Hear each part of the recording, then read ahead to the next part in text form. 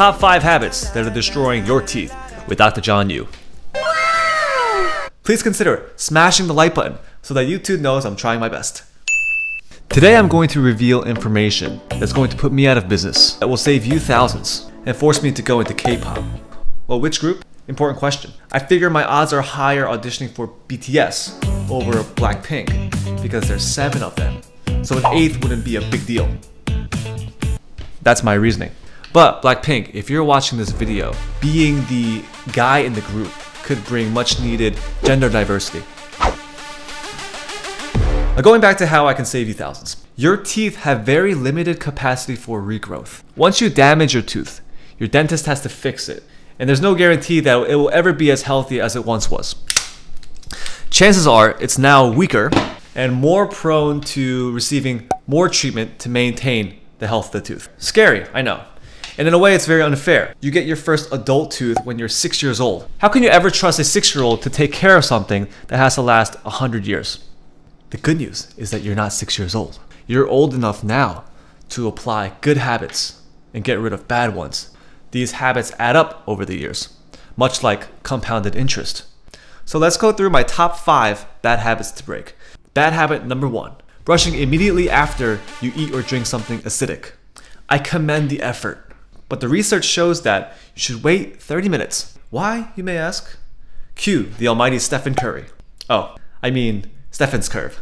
This may be the most well-recognized graph to dentists. When the acidity of your mouth dips below 5.5, the outer layer of your tooth, enamel, undergoes demineralization. If you rub your teeth frantically while the enamel is in demineralization phase, you can wear away your enamel. So what helps the pH of your mouth to go back up above 5.5? Bingo! Saliva and time. Saliva is a natural buffer that will bring this up. And these are some time frames for how long saliva needs to work in order for the pH to go back up to normal levels. In the meantime, you can rinse your mouth with water to get rid of some of the debris and to help uh, wash away some of the acids.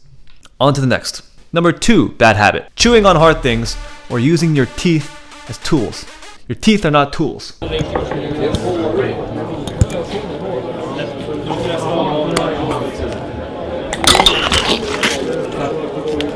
I see both kids and adults doing this. You won't imagine how many teeth have to be pulled because of the way that they fracture. Not all cracks are equal in severity. Take a look at these different fractures. If the fracture goes along the length of the root, below the crown, can't fix it. The treatment is to extract or remove the tooth, and in ideal circumstances, place an implant. This could cost $5,000. Very avoidable. If the tooth cracks and it can be saved, it could still cost a lot. And even if you've been fortunate to not fracture your tooth, you can develop pain symptoms associated with the trauma of the occlusion, the way that you're biting on hard surfaces. So common objects that people chew on that fracture teeth, ice, popcorn seeds, very hard granola, the eraser end of a pencil or pen. If a hot girl at the bar brings you her beer bottle and says, can you open this with your teeth? Walk away. Tell her you're taken.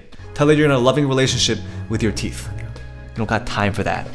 You're better than that. Queer. Bye, Felicia. Number three, bad habit. Frequently snacking. This includes acidic beverages. One of the questions we ask parents at a child's dental visit is how often they drink juice or Gatorade throughout the day. Parents see these as good sources of vitamins and electrolytes. True. But from a dental perspective, if they're consuming this stuff frequently throughout the day, the teeth are constantly exposed to acidic environments. Remember that pH of less than 5.5. And you can see in this graph here that is dipping below 5.5 repeatedly throughout the day, undergoing that demineralization process, not allowing the saliva to do its job. We're not saying don't eat, don't snack, don't enjoy the finer things in life. Although, sometimes my parents just just try to limit it. Um, because once you understand what's happening on a microscopic level, you can see how it's more harmful from a tooth's perspective to nibble on a chocolate bar all day as opposed to eating it in one sitting. Many pediatric dentists on Halloween encourage parents to let little Johnny eat all the candy they want that one night and then to get rid of the rest. This is, of course, barring any medical conditions. We're not encouraging diabetics to consume 50 chocolate bars in one sitting. Because if the inventory of candy lasts throughout the whole year, then the kid is exposed to constant fluctuations of demineralization. Right? Number two bad habit brushing improperly. This is such a big topic that is traditionally very boring. Let's face it, you've heard about brushing your teeth and flossing since you were a toddler. And no matter how interesting we try to make it, it's not that sexy of a topic. Which is why I think most people are either unaware or uninterested about learning it the right way. Right? So this is how most people brush their teeth. Most people brush like this, okay? Boom, boom, boom. They're probably watching YouTube or looking at themselves in the mirror, thinking about different things during those two minutes. By brushing your teeth like this, you can cause gingival recession or receding gum lines. And to fix really bad cases of those can require gum grafts, where you take gum tissue from somewhere else in the mouth and you stitch it on to where you've receded away your gingiva. It's not very fun. Take a look in the mirror, see if you have any signs of receding gum lines, and it may be possible that you're brushing improperly. I might do a whole video about proper oral hygiene techniques. And number one bad habit is grinding your teeth. If you find yourself grinding your teeth and you don't use protective night guard, your teeth can look like a grandpa's by the time you hit your 30s. Most people are aware that they brush or grind their teeth. But the issue is that some people don't see it as a huge problem because they've been doing it for their whole lives. Uh, Carlos, as an informed patient, looked up possible solutions. Did you feel that you were grinding, you were grinding away some of your teeth structure? Yeah, after a while, I've noticed that my teeth are kind of straight all the way around in my front teeth. That's not normal because mm. I see other people and they have the mountains. Yeah, the, the mountains. So I searched up a couple things. Dude, good for you, man. And I was like, so, and then I searched up bruxism. So when I went to the dentist, he's like, yeah, you do have bruxism. Mm. And then after that, I got my night guard.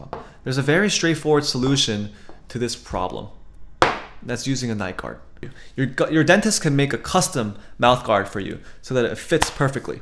Of course, we recommend ones that fit and are suitable for your teeth. But if you're strapped for expenses, perhaps you can try the generic one and then follow up with your dentist to see if it's working. The absolute best way to treat bruxism is to identify the source of why you're grinding your teeth.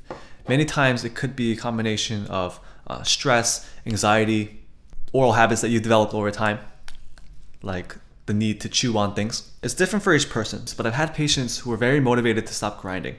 And eventually, over time, they got rid of that habit. So it may be tough, but it's possible. I hope you found this useful. Please share this with your friends or anyone who does any of these things. So these are five bad habits that may apply to you. If none of them do, cool, you're doing a great job. It makes me really sad when parents and their kids come into the dental office and the parent says to me, Doc, do whatever you can I don't want his teeth to end up like mine. So, like many things, a lot of people realize the importance of something after it's gone. I want this to be a reminder that your teeth are long term investments. I want to make sure that we're helping you stay on the right track. All right? Well, thanks for watching. We'll see you next time. Yoo here. Essence 2020 is coming right around the corner. Best wishes to everyone. Good luck in all your endeavors.